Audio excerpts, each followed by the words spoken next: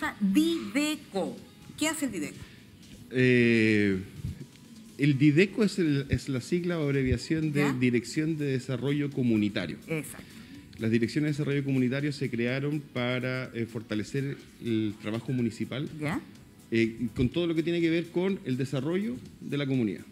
Con las or- organizaciones comunitarias. Organizaciones comunitarias, con, eh, sean estas funcionales, sean estas municipales, sean culturales, comités, etcétera.